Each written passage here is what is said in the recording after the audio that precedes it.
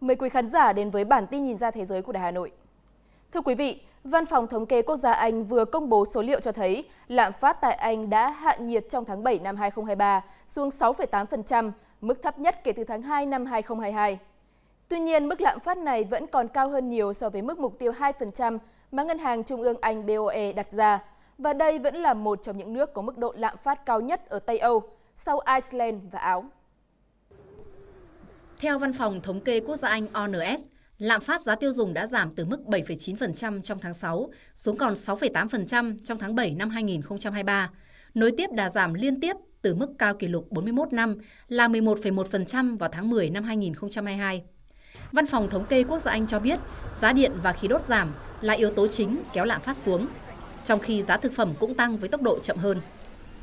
Thủ tướng Anh Rishi Sunak cho biết kế hoạch lạm phát sẽ xuống 5% của chính phủ Anh trong năm nay đang phát huy hiệu quả, nền kinh tế Anh cũng đã nhìn thấy ánh sáng cuối đường hầm. Tuy nhiên, chính phủ Anh cũng không tự mãn với kết quả đó. Bây giờ, chúng ta đang đạt được tiến bộ, nhưng vẫn phải bám sát kế hoạch, tức là phải có những quyết định đúng đắn, có trách nhiệm với nền kinh tế, có trách nhiệm với việc vay nợ, trả lương cho khu vực công. Và nếu chúng ta làm được điều đó, chúng ta sẽ kéo lạm phát xuống, giảm bớt gánh nặng chi phí sinh hoạt cho người dân. Tại Anh, mặc dù lạm phát toàn cầu giảm, song lạm phát lõi, nghĩa là không tính giá năng lượng dễ bay hơi, thực phẩm, rượu và thuốc lá trong tháng 7 năm 2023 vẫn ở mức 6,9%, bằng mức của tháng 6. Lạm phát giá dịch vụ tăng từ 7,2% lên 7,4%. Cùng với lạm phát, Ngân hàng Trung ương Anh đang theo dõi chặt chẽ thị trường lao động của Anh. Theo báo cáo của ONS, trong quý 2 vừa qua, tỷ lệ thất nghiệp tại Anh đã tăng lên 4,2%, là mức cao nhất kể từ tháng 10 năm 2021. Các nhà phân tích lưu ý rằng tỷ lệ tham gia lao động nhìn chung ổn định, trong khi tỷ lệ việc làm giảm, báo hiệu nhu cầu lao động suy yếu. Trong khi đó, tăng trưởng tiền lương cũng tiếp tục gây đau đầu cho các nhà hoạch định chính sách khi tiền lương không bao gồm tiền thưởng đã tăng 7,8% so với cùng kỳ năm ngoái trong quý 2, tốc độ tăng trưởng nhanh nhất kể từ khi chỉ số này bắt đầu được ghi nhận vào năm 2001. Các nhà phân tích nhận định lạm phát lõi không nhúc nhích, trong khi tăng trưởng lương và lạm phát giá dịch vụ đều cao hơn dự kiến, khiến BOE phải tiếp tục hành động. Một đợt tăng lãi suất khác của BOE vào tháng 9 có vẻ là không thể tránh khỏi, mặc dù Ủy ban Chính sách Tiền tệ đang bị chia rẽ bởi hai luồng ý kiến do lo ngại tác động của việc tăng lãi suất.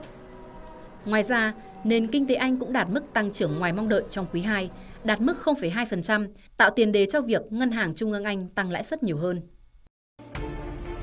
Với việc tiếp tục tăng trưởng và nền kinh tế đang đứng vững trước nghịch cảnh, BOE có thể sẽ xác định rằng cần phải tăng lãi suất nhiều hơn nữa để đưa lạm phát trở về mục tiêu 2%.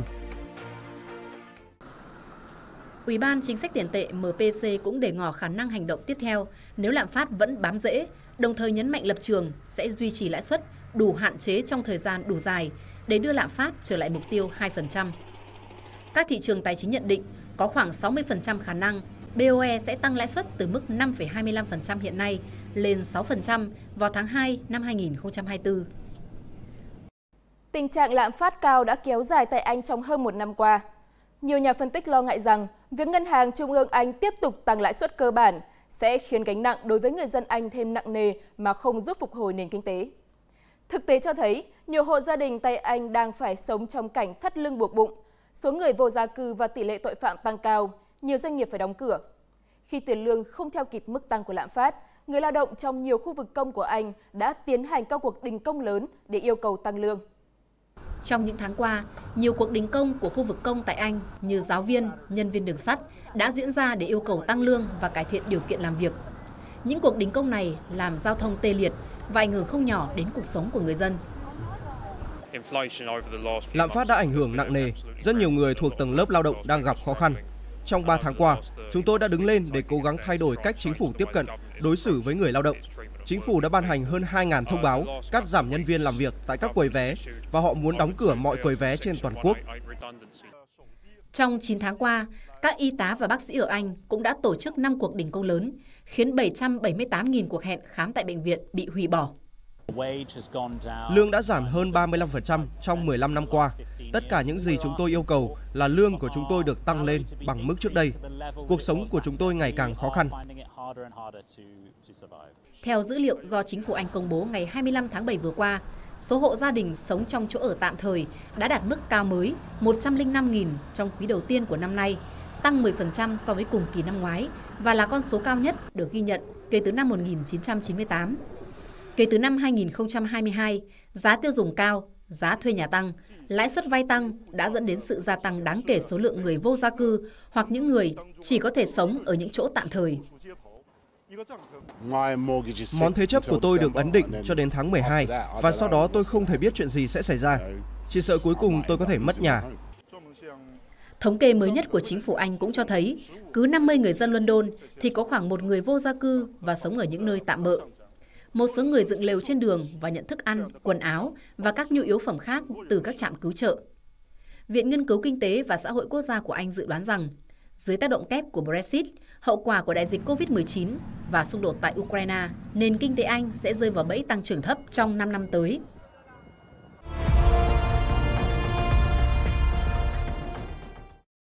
Trong khi giá năng lượng giảm, góp phần làm giảm lạm phát tại Anh, thì tại Đức, nền kinh tế đứng đầu châu Âu, chính sách tiền tệ thắt chặt và khủng hoảng năng lượng kéo dài dẫn đến giảm tăng trưởng. Theo hãng tin Bloomberg, nền kinh tế Đức sẽ vẫn còn trì trệ trong nửa cuối năm nay khi nước này tiếp tục vật lộn với hậu quả của suy thoái kinh tế trong mùa đông. Theo một cuộc khảo sát do Bloomberg thực hiện vào đầu tháng 8, sản lượng kinh tế ở Đức đã giảm trong quý 2 và sẽ chững lại trong quý 3, trong khi tỷ lệ lạm phát vẫn duy trì ở mức cao 6,2% trong năm nay. Theo đó, Đức sẽ là thành viên G7 duy nhất phải đối mặt với sự suy thoái trong năm nay. Quỹ tiền tệ quốc tế IMF dự đoán nền kinh tế Đức sẽ giảm 0,3% trong năm nay và có thể sẽ chỉ phục hồi 0,8% vào năm 2024. Theo nghiên cứu của cơ quan tín dụng Credit Reform cho thấy, có 8.400 công ty mất khả năng thanh toán ở Đức kể từ tháng 1 đến tháng 6, tăng 16,2% so với nửa đầu năm 2022 và là mức tăng phần trăm lớn nhất trong hơn 20 năm qua. Lạm phát tăng kéo theo chi phí năng lượng tăng lên, chi phí vận chuyển tăng lên, tiền lương tăng lên. Những điều này đồng nghĩa với việc nhiều công ty không thể tồn tại được nữa. Hãy nhìn đường phố và các thành phố lớn, bạn sẽ thấy rất nhiều cửa hàng đang để trống. Tôi nghĩ rằng chúng ta đang ở trong một làn sóng phá sản. Trong một báo cáo công bố mới đây, Bộ Kinh tế Đức cảnh báo sự phục hồi mà nhiều người mong đợi vẫn không thành hiện thực vào đầu mùa hè. Theo báo cáo này, nguyên nhân khiến các chỉ số kinh tế quan trọng của Đức đều giảm sút kể từ đầu năm 2023 là do ảnh hưởng của cuộc xung đột Nga-Ukraine, hậu quả kéo dài của cuộc khủng hoảng năng lượng, nhu cầu từ Trung Quốc suy giảm, tình trạng thiếu lao động có trình độ và tác động từ chính sách thắt chặt tiền tệ của khu vực đồng tiền chung châu Âu.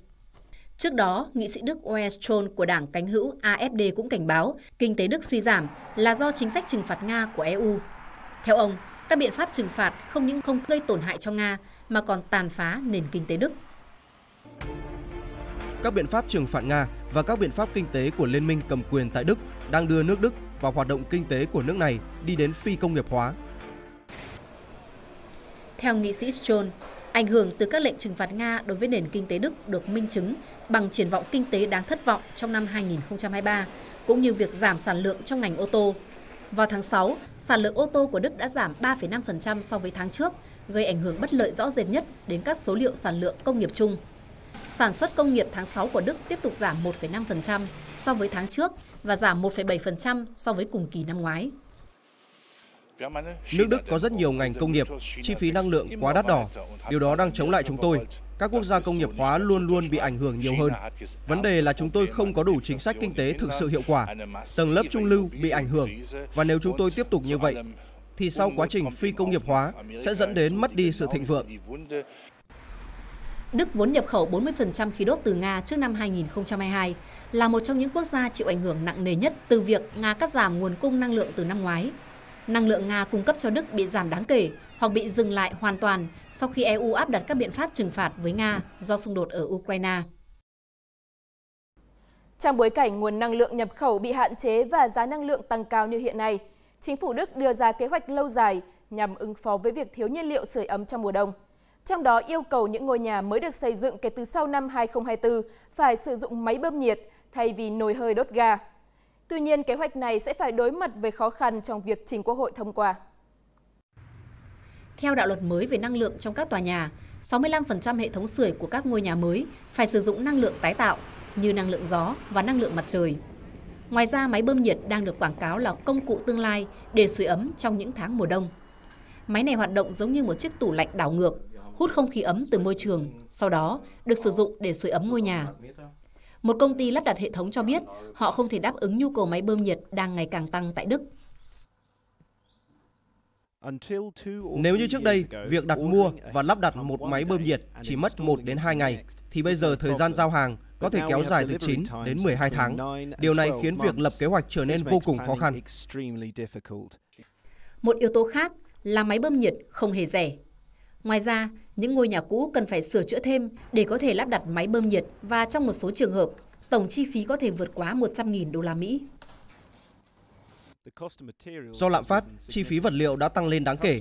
Những khách hàng muốn chuyển sang hệ thống bơm nhiệt có thể phải trả chi phí lắp đặt khoảng 20.000 đến 30.000 đô la Mỹ tùy thuộc vào thiết bị. Trong khi đó, không phải tất cả các máy bơm nhiệt đều có thể sử dụng được. Dự luật của chính phủ Đức đang xem xét cấm các máy bơm nhiệt sử dụng một số loại hợp chất làm lạnh, được gọi là HFO. Các nhà sản xuất của Mỹ và EU cho rằng điều đó sẽ vi phạm thị trường chung của Liên minh châu Âu. Những yếu tố trên đã khiến kế hoạch của chính phủ Đức vấp phải nhiều ý kiến phản đối.